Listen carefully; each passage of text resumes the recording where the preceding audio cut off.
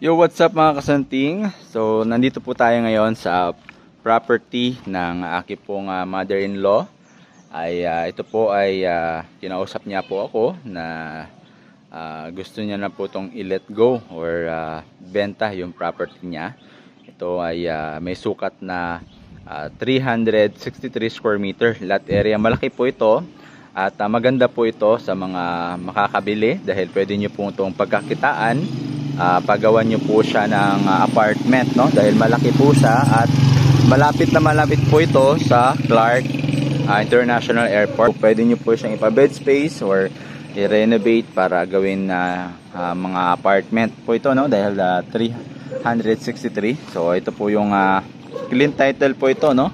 Clean title po ito. So hindi ko na masyadong ipapakita. Basta uh, ito po ay bayad sa mga ano po niya uh, due diligence uh, clean title uh, malilipat po kaagad no? Hindi po nakasanla. Uh, meron po itong uh, 363 ayan po. So pasukin po natin yan sa loob. Uh, anyway ito po ay uh, located sa Santa Maria uh, dito po sa Mabalacat uh, Pampanga. So malapit po tayo sa uh, Pure Gold sa mga bilihan po no public market dito Don Bosco malapit po sa lahat po ito no? At uh, meron po tong uh, parang bypass road papunta doon sa SM Mall. Meron din po accessible po dito yung sa may uh, de, parang diversion road niya no? Alright? So papakita ko po dito uh, dyan sa Google Map. Ayan po. Uh, malapit na malapit po siya sa uh, Clark. Ayan. So um, sa mga gusto po uh, na umuwi dito sa Pinas at gustong uh, uh, bumili ng property, gawing apartment ay ito po ang uh, maganda. Uh, dahil uh, ito po yung mother-in-law ko po pinagawa, kakagawa lang po niya itong uh, gate na to. At uh, meron siyang uh, dalawang uh, room po sa uh, sa loob. So check na po natin no? Ayan. So ito po ay uh, 363 ayan. So ito po yung daan niya. Ayan. Yung daan po niya ay uh, hindi pa po siya sementado pero uh, sooner or later uh, baka po uh, mapapagawa na po ito ng paraan no. Ayan, so ito po ipapakita ko na lang po sa Google Map kung saan siya located no.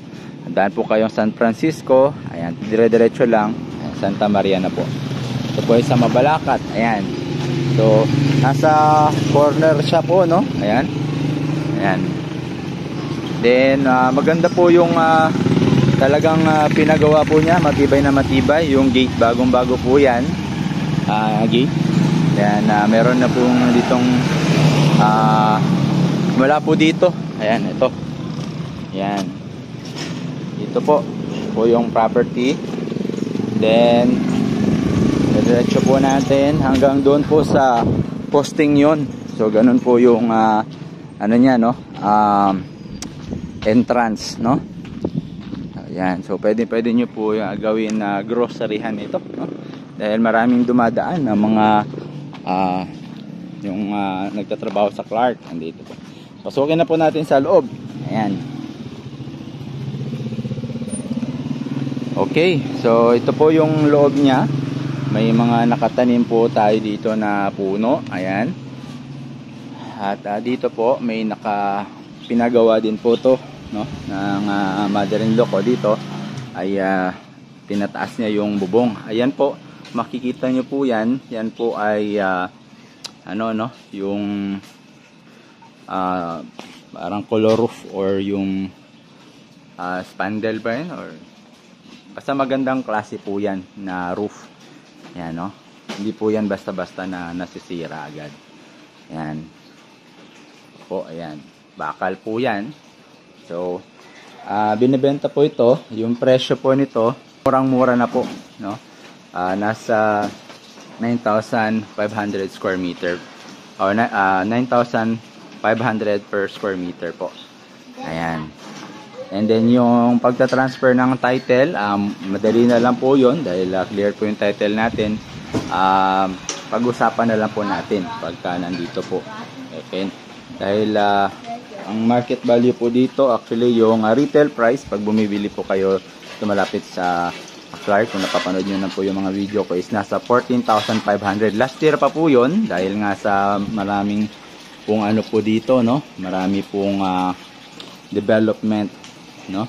Per square meter at iba pa po yung ah, tax, no? Dito po maganda, ah, ano po siya, no? Ah, murang-mura na lang po binebenta. Okay? So, pwede nyo po siyang i-resale. At ah, ito po, ayan, mataas po yung ano niya, ayan o, bubong. Pwede nyo po itong i-finishing, ganyan. Po yung CR, ayan. So, then, ito po, dalawang room. So, kayo na po mag-renovate nito. Ah, ang laki pa po nito. Ah, yun pa po, ayan. Hindi, pa, ano, So, ah, ito is safety tank, no? Okay. Then, ah, yun po, dito po sa likod. Yan. Ah, lagay ko na lang. Ah, tumaw- tawag lang po kayo kung gusto nyo uh, mag-visit po dito sa property. Ano, ah, malapit na malapit po to pwede tayong mag-meet sa ano dun sa may pure gold ayan ah ah, San Francisco na pure gold Mabalakat ayan Ayan, may mga tanim na po dito na mga puno. Ayan, mayroon pang papaya. At ah, talagang ah, ano po, ayan oh, ah, yung gate, ah, yung gate, yung bakod, sobrang taas po. oh. Secure po ito, secure. Ah, ito po. Ah, ayan. So, ayan po. Ayan. Ayan, ito may mga saging pa dito, may mga ano doon. Check natin. Ayan, may mga ah, eh, kalamansi. Ayan, tinaniman na po. Mama, ito po, ah, ano po ito? Ano ba to? Talisay. Ayan. Ito naman, nangka. Ayan, may mga nangka na po. Ah, kapag po kayo ay OFW, gusto niyo mag-retire po dito, ayan, kay sir, shoutout kay sir, tumawag sa kanina from UK, for good na po siya dito. Pwede nyo po itong i-consider dahil ah, pwede nyo patayuan ng bahay dyan.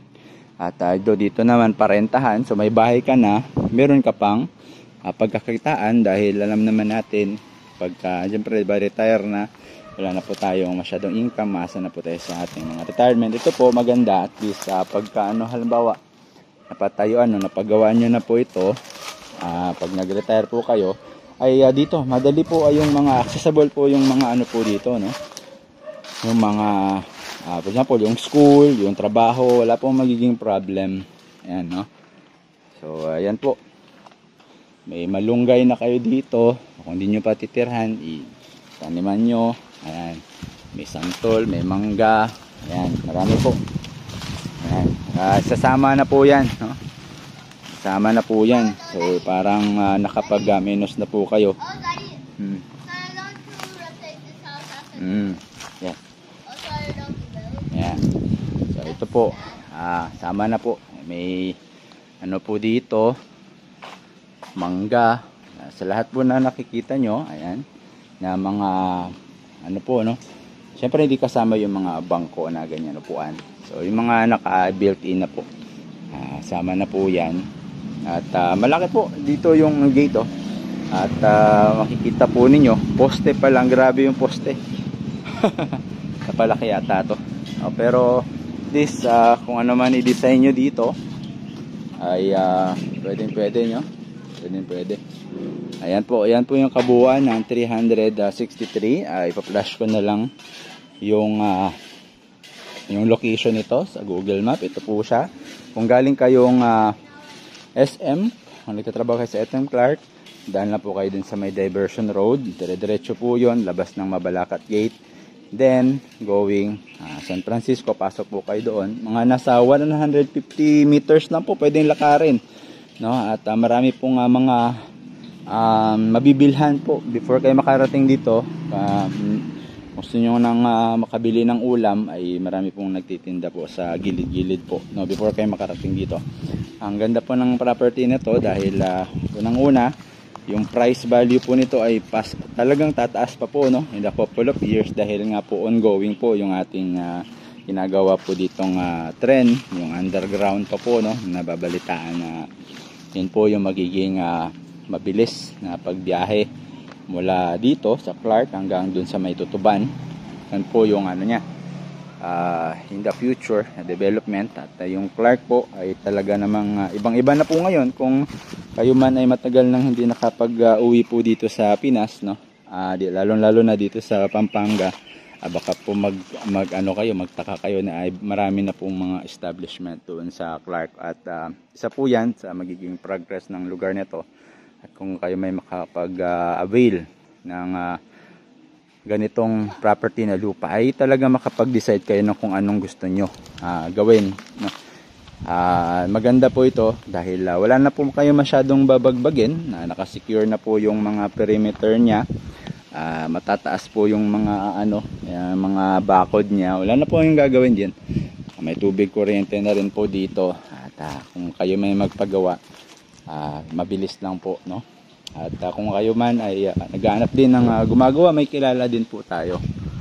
Ayan, so at least malilim po dito. Ayan, may mangga. Po, ah, ito ay ano po ito, berries. Pero ito mangga. Ayan. Tapos yun, santol naman yun. Ah, kung ano pa no, hindi nyo pa gagawin ng ano, sa mga build build ah, build to sell po 'yan do, yung mga company, alam ko po na meron po kayong ah, halimbawa, ah, meron po dito nga nagbe-build and sell no.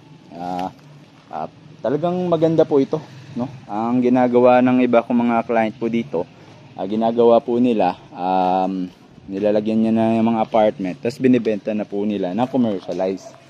So sa ganung paraan mabebenta po nila na income generating na siya at ah, mataas na po yung pwede nyong patungan no sa mataas na presyo no.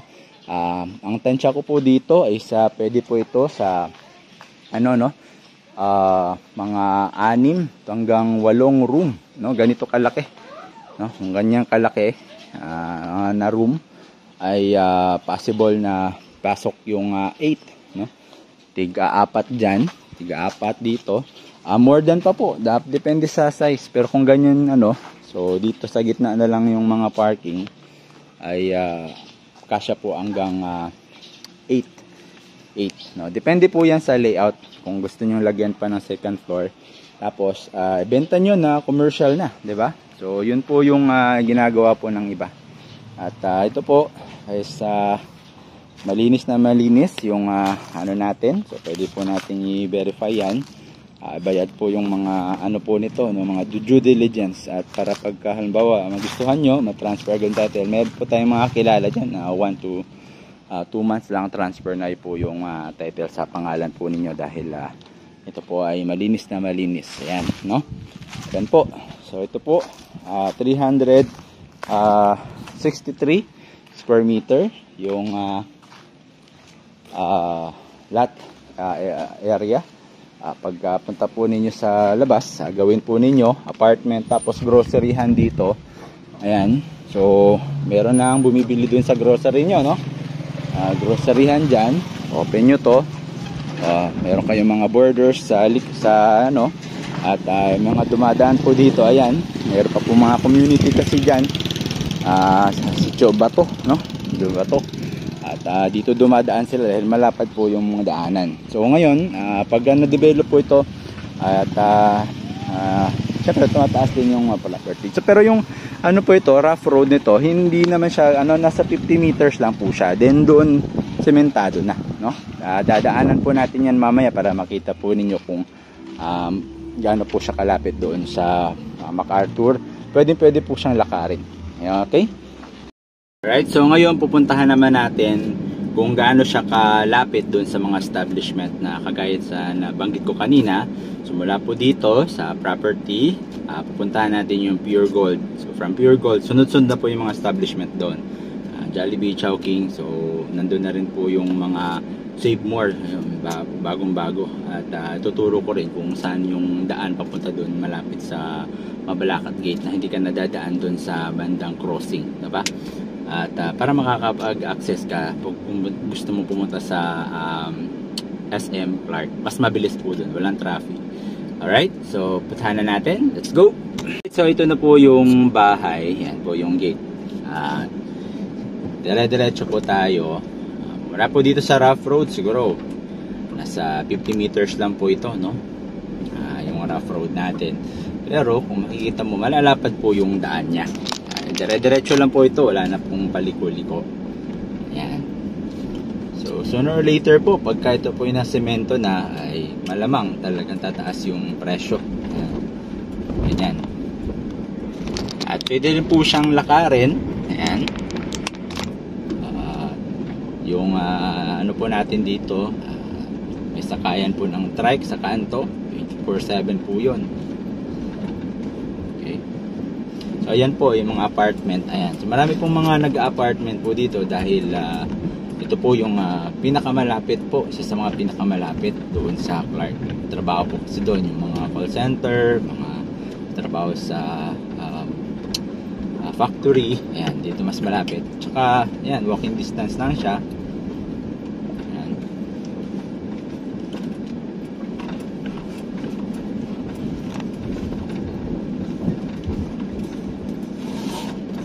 Maraming naglalakad.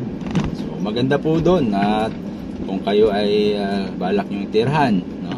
Ah, mag-open kayo ng grocery doon. Ah, dahil daanan talaga siya, no? Dire-diretso na po 'yon. Makikita nyo po yung jeep na yan. Ayan. So, dyan po tayo papasok. No?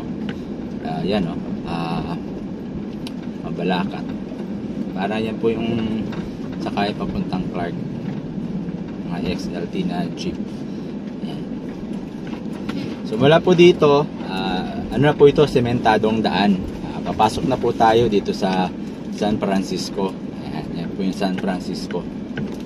Ah, may makita po kayong Alpha Mart, Chicken Star, ayan no, may mga gulayan dyan sa may left side natin. May sakayan dyan, sa unahan.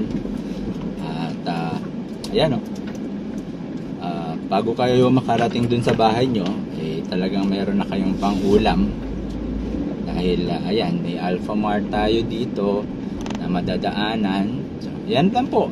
Sementado na po yung daan dito. Mula, pa, mula dito hanggang dun sa MacArthur Highway. Ayan. Maraming mga nagbebenta dito mga saging ganyan. Tapos meron tong ditong school. Ah, ayan o may mga nagsundo na. Ah, ano po? San Francisco Elementary School. Ayan tapos ah, yung high school po ma- malapit lang po dito yung mga ah gusto nang mag-aaral no high school. Ano and then dire-diretso po tayo. And school na po yung bandang left side natin no? Hindi na natin dadaanan doon. So diretso lang. Tapos ay may prutasan then nagbebenta ng karne mga ulam yan palabas na tayo. Ganun lang po. Ah, nasa wala mo pong isang kilometer no? Ah, 150 meters. Pwedeng pwedeng lakarin po ito. Ayan. So dito na tayo sa MacArthur. Palabas na po tayo sa MacArthur Highway. Yan yan po yung ah, mga toda ng tricycle. Ayan. Oh, dito po left side o ah, right side no right side po tayo dahil may barrier po sa unahan natin Ah, right side lang po tapos po, pagka nandito na kayo, pwede kayong dumaan dyan, dito. Pag po gusto nyo pumasok sa ah, Clark na, para hindi na kayo ah, matraffic po dun sa may crossing, no? Paglabas na ng konti Mm, yes. Okay, dire-diretso po tayo. Diretso po tayo. Ito po yung papuntang ah, ah, Diversion Road, papuntang Clark. Hindi po kayo matatraffic dyan, no? At pag didiretsohin nyo po ito, yan po yung mga establishment ng Pure Gold which is pupuntahan dun po tayo papunta. Yan, no? Oh, ano na siya, no? Ah, accessible na. May mga jeep dito. Um, kaya talagang ano po, no? Patayuan nyo po ng apartment. Maganda. Dahil um, ano po siya, accessible. Ah, pwede nyo bed spacer para medyo no, marami-rami. Ayan po, may makikita po kayong Sabers. Ayan. So bagong-bago po yung Sabers natin dito. Appliance. Tapos may Domino's Pizza na ano na po. Talagang ano po siya. Ah marami na pong nagaganap. Kumbaga hindi na siya kagaya po dati. Kung napuntahan nyo po dati yung Mabalacat, baka mag ano po kayo no? Ah, yan po yung Pelco sa kabila. Ayan, bayad ng ah, Pelco. Tapos, ah, sunod-sunod na po yan. Ah, may Jollibee. Ayan, no? Okay. Dire-diretso lang tayo. And then, ah, yan, kung kayo po ay ah, ah, isa pong ah, kapatid, ayan, may lokal po dito. Ayan po, ah, INC. Ayan. Ah, accessible na po sa inyo po ito. May ano po tayo, KFC, ayan, Jollibee. Dire-diretso po yan. Ayan. Iikot na lang tayo, no? Para makita nila. So, okay, okay, ah, ikot na lang po tayo para at least makita nyo po talaga yung ah, ano, actual ng papuntang Clark. Ah, mayroon po kasing access doon. So, para at least makita nyo po yung actual na paano po. So, ito po yung sinasabi ko, ah, dito po sa crossing, ah, medyo matraffic po dito. Lalo na pag rush hour. Kaya po dun sa kabila na tinuro ko kanina, pag dun po kayo dadaan, kung gagawin kayong Clark, ah, malam, ah, malamang ah, dun po kayo dadaan kasi wala pong traffic doon. So, iikutan po natin to. ah, pero at least makita nyo po yung actual. Ayan. Mercury Drug, Mang Inasal. Ayan. So, di ba? Um, wala mang? Oh. Wala mang mga 10 minutes yung pagbibiyahe natin. Dito na tayo sa palengke. Ito mo po pala, yung palengke po dito, kung na po nagawin po kayo dun sa page ng Mabalacat, na nakapost na po doon na ito pong ah, yung pa- Mabalacat Public Market ay meron pong ah, ah, nakabudget na po na 200 million na ah, renovation Ah, kung saan ito po ay ah, gagawing ah, ano no hanggang ah, third floor yeah, yung third floor nito is rooftop para sa parking Ah, nabasa po natin doon yung ah, second floor gagawing office yan, mga opisina ng ah, government office at ah, yung ah, itong first floor which is ah, wet market no Ah, yan. So kung ga- didiretso po kayo diyan, papuntang Tarlac na po 'yan. So, ang gagawin po natin ngayon, ayan, magle-left side po tayo. Ito na po yung papuntang Clark. Pag dito na po tayo, may makita po kayong 7-Eleven. Ah, diretso na kayo ng konti. Mayroon diyan ah, mga sakayan ng jeep papuntang Clark. Ayan. Left natin. So papuntang Clark na po 'yan. Yan mga yan. Ah, dire-diretsoin lang natin para makita nyo po yung ah, sinasabi kong diversion ah, road na papuntang uh, Mabalacat ah, ah, papuntang SM Clark no? may ginawa po kasing bypass road yan at ah, dito na rin po yung ah, Clark na trend no? Na na talagang pinag-uusapan dahil ah, magbibigay po ito ng ah, boost sa ekonomiya dahil nga po yung mga produkto no, hindi na lang po bypass. Ah, yung ah, ano eh, mga 2 hours po kasi yung biyahe bypass Ah, sabi po daw dito pag naayos po to nagawa na po ito ay ah, aabot lang sa 45 minutes at didiretsuhin na lang po natin ng konti no doon sa papuntang ah, airport para tapos U-turn tayo no para makita nyo talaga na accessible talaga siya. So, um, simula tayo kanina, wala mang ah, nasa 10 minutes na ba? Parang di wala pang 10 minutes. Nasa 8 minutes lang, di ba? So kasi dito sa video natin, naka time lapse. Ah, dito naka time lapse wa, hindi po ito naka time lapse. Nakalagay po dito 8 minutes. Ah, nandito ka na sa ano, sa yan. So dediretsuhin niyo po yan, SM Clark po yan, 7 minutes. Tapos pag ah, right side po, Ah, dire-diretsuhin niyo po ito. Ito po yung ah, client po natin na nag-request po itong video na to. Gustong gusto niya po na malapit sa Clark Airport. Ayo. Ah, yung Clark Airport na yan, ah, yan po yung aging access road nyo papuntang Davao, Cebu, Boracay, lahat po pwede. Yan, no? Um, oh, so, meron pa po nga hindi pa po nakapagdagdag. So, sa may left side natin, yan po yung trend. At ito po yung pinaka main ah, gate po Mabalacat Gate. Meron ding main gate sa Angeles. Ito naman Mabalacat Gate. So ito po yung ah, pangalawang daan po ni ano. So dito sa may right side po, depot po 'yan.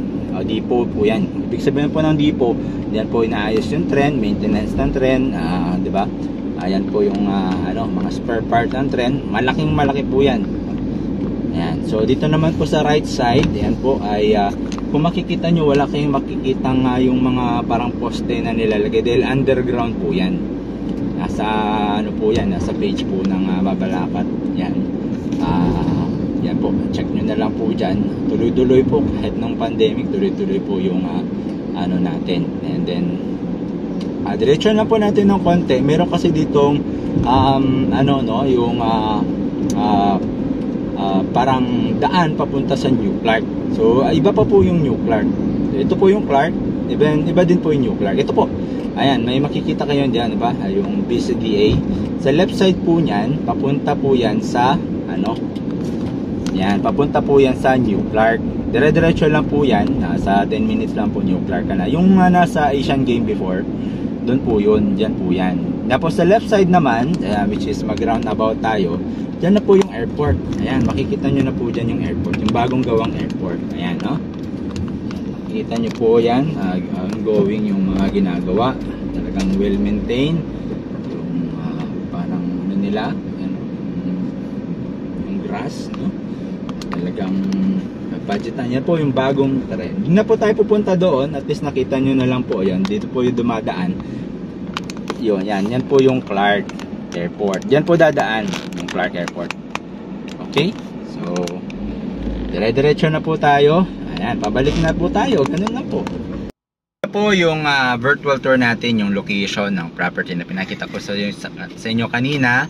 At ah, 8 to 10 minutes lang po yung ah, ah, tatakbuhin, no? Kung mayroon kayong service. Ah, how much more kung nakamotor po kayo. At ah, sa mga future din po na mga magre-renta doon, kung gusto niyo pong uh, iparenta po siya, mga pet spacer, ay ah, kung makikita niyo po sa dinaanan natin kanina, marami tayong mga ah, nabibilhan, na mabibilhan sila ng mga pagkain, prutas, ayan, no?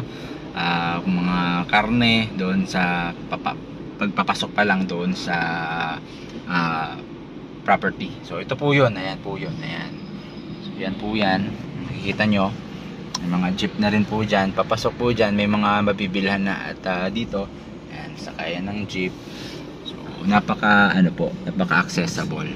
Ayan. So sa ano po ito, pasok lang sa may San Francisco, dire-diretso po 'yan, ah, Santa Maria. So Muli, ako nga pala si Kuya George. Pwede nyo akong tawagan sa number ko, 0920-153-8449. So, see you!